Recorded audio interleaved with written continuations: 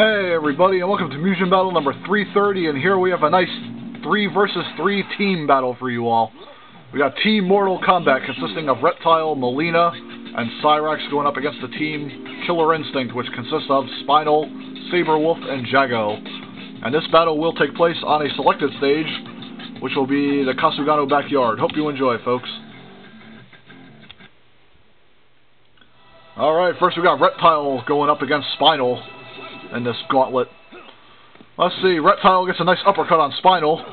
Let's see, Spinal does a drop kick to Reptile, doing some decent damage, and Reptile spits acid at Spinal as Reptile jump kicks him out of the air, energy ball, into a fist, into an acid spit. And right now, Reptile just dominating Spinal. Misses the acid spit there, but gets the second one, third one, and Reptile just lands a huge super fist kick combo and finishes off Spinal quite easily. And so far, Team Mortal Kombat taking an early lead. And now Reptile does battle against Sabrewulf. Let's see, and then Reptile shoots acid at Sabrewulf and then tackles him down with a dash elbow.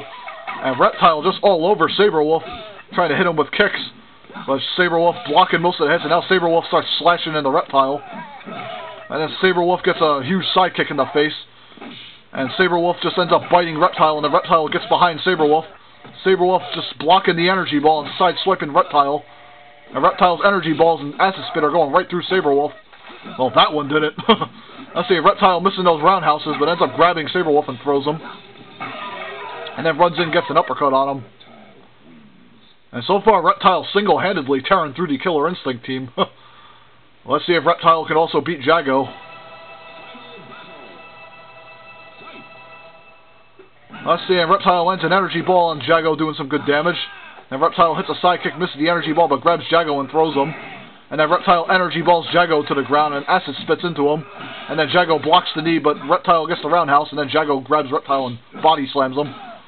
And then, let's see, oh, Jago slams hard on Reptile, and then shoots out a giant red energy ball, and then a green energy ball. And then Reptile sweep kicks Jago down into an energy ball, into an uppercut. Damn. And then Reptile finishes off Jago. And Reptile single-handedly defeated the Killer Instinct team by himself. Damn.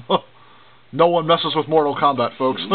Anyways, I hope you all enjoyed that match as quick as it was, and stay tuned for Mugen Battle number 331 coming soon. See you later, peeps.